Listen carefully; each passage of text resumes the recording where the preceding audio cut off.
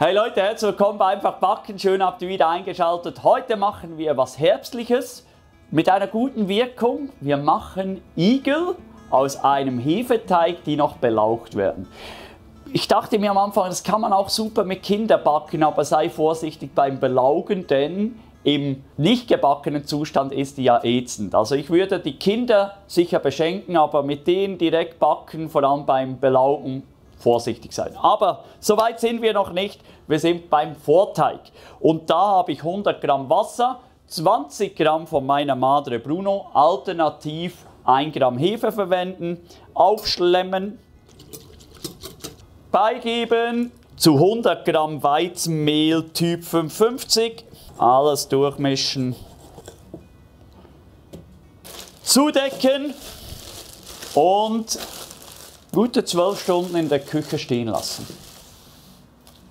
Der Vorteig blubbert vor sich hin, ist ein Zeichen, wir können weitermachen. Der steht jetzt bei mir gute 12 Stunden in der Küche. Guck dir das mal an. Ist einfach genial. Das ist Natur pur und bringt uns den vollen Geschmack in diese Laugenbrötchen.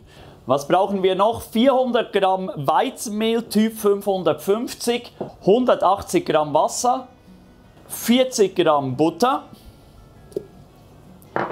10 Gramm Hefe, und 10 Gramm Salz. Das Salz gebe ich erst so nach 3-4 Minuten bei, weil die Teigentwicklung etwas besser ist. Küchenmaschine starten, zuerst einmal kneten und dann später das Salz beigeben. Wenn du das Salz verzögert beigibst, ein Tipp, schon mal hier irgendwo hinstellen, nicht dass du das vergisst.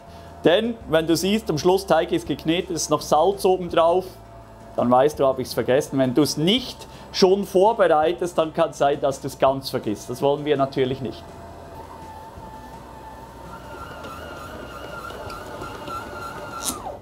Nach 20 bis 25 Minuten Knetzeit ist der Teig wunderbar fertig. Den packe ich in eine Box rein.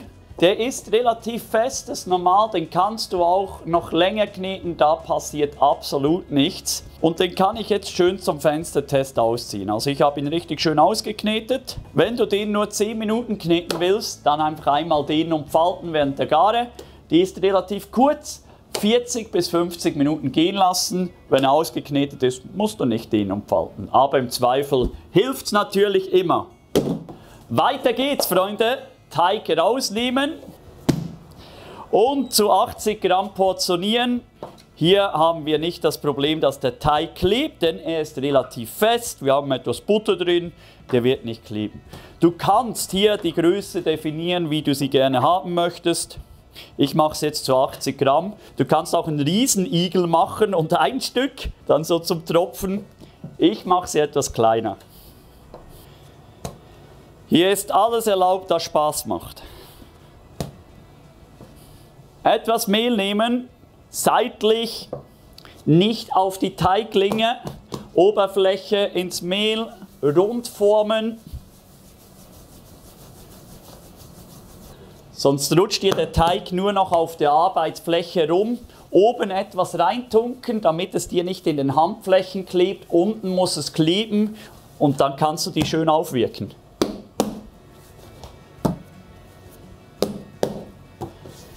Dann nehme ich die runden Kugeln und drücke sie einfach auf einer Seite ab, damit so eine Birnenform entsteht.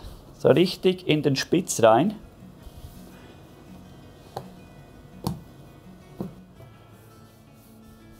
Dann auf ein Tuch legen und gut aufgehen lassen. Ich bin in Schale geworfen, um zu belaugen Handschuhe, Brille. Ich arbeite mit Natronlauge, eine vierprozentige Natronlauge.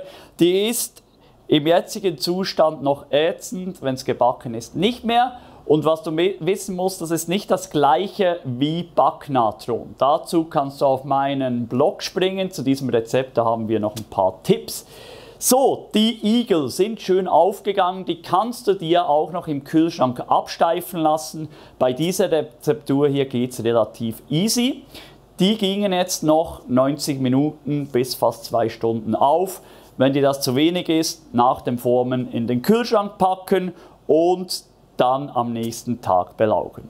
Ja, dann nehmen wir die Teile, reintunken, gut abtropfen lassen und auf ein Backpapier. Bei mir sind es immer zwei, nicht dass das durchdrückt. Teilweise höre ich, dass das Backpapier dann klebt.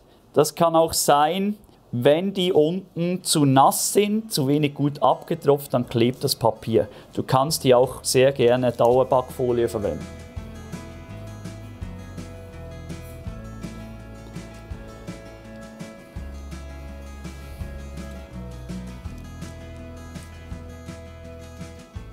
Dann zwei Rosinen oder Sultaninen vorne eindrücken, richtig tief rein.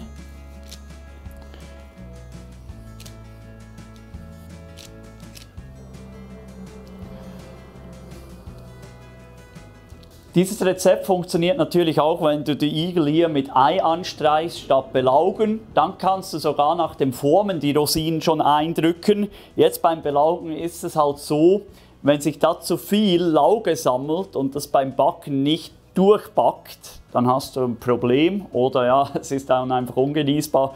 Darum beim Belaugen die Rosinen vorsichtshalber immer erst nach dem Belaugen eindrücken. Und jetzt fehlen noch die Stacheln, dazu eine Schere leicht abkippen und die Stacheln hier immer versetzt einschneiden.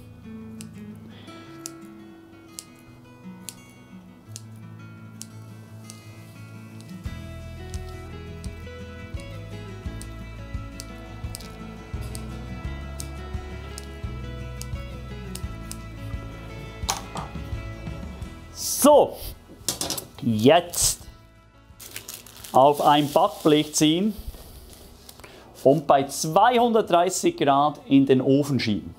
Einschieben und ohne Dampf backen. Nach einer Backzeit von 12 bis 15 Minuten kommen unsere Igel zum Ofen raus. Und die sind schon süß, oder? Richtig schön weich. Schöne Farbe, die Spitzen schön hochgegangen. Wir haben einen wunderbaren Kontrast durch die Lauge. Cool. Super schön dieses Farbspiel. Wenn du möchtest, nach dem Einschneiden etwas Brezelsalz hinten drauf. Für Kinder so salzig, muss man mögen, kannst du selber entscheiden. Ich breche es auseinander. Ja, super wattig. Ja, genau das. Nochmal es dampft noch, sie sind noch warm und genauso sind sie am besten.